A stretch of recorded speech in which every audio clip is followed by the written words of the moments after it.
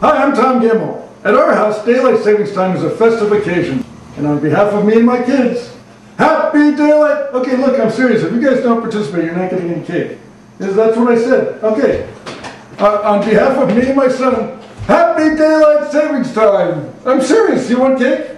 Okay, no cake for the kids. Just more for me and mom. Sorry. So please enjoy the special holiday edition of the Doozies, which we think will find you literally falling out of your chair laughing.